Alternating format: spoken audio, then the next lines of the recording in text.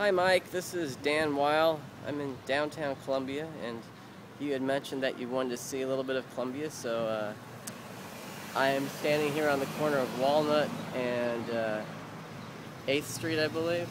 So I'm just going to turn the camera around and show you a few things and try to narrate it over the sounds of the vehicles going by. So here we go.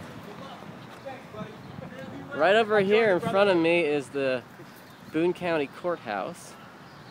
And uh, we're on Walnut Street, and if we walk over this way, this is, by the way, this is room 38, where uh, here in Columbia we had the um, first uh, hangout in real life, the Hurl. Then if I walk across the street, this is the parking garage. There's the Tiger Hotel down there. Um, this is the historic avenue of the columns. And then uh, right behind, right behind uh, the courthouse over here, there is a memorial for veterans and stuff. You can see, we'll walk through there real quick. Um, and uh, KOMU is over here too. I'll show you show you their van here in a minute. Um, so this is a memory of Boone County boys who lost their lives in world in the World War. Um, Operation Desert Storm, Vietnam over there. And here we are at the famous columns. I'll just walk in between them for you. There's another shot of down down 8th Street. And there is Jesse Hall over there in the background. And uh, if I walk this way, you can see one of the KOMU 8 news cars. I'm not sure what they're doing down here, but here it is. Right there. Can probably see that.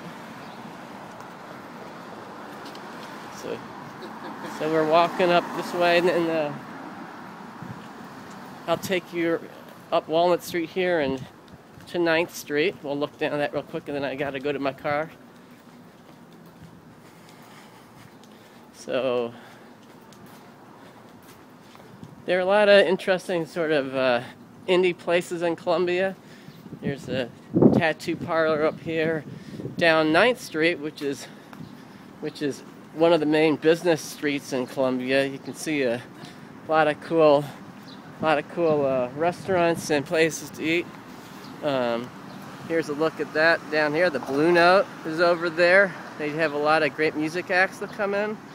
Um, so I'll show you more of that another day. We'll walk down this way real quick. Uh, church over there. I think that's the, can't remember which one it is at the moment. Um, it's a, it's a, I think it's the first Christian church is what it is. Here's like electronic repair, guitar finder, guitar repair. I hope you can see this because I have it switched around so I can't see it right now. Um, we're next to the Boone County Government Center here at the moment. And actually, if you kept walking this way and made a right, you would you would uh, get to see Columbia College. Here is uh, the government center back there. If you go through here, you can go into the jail. That's always exciting. Like, thankfully, I've never been in the jail before.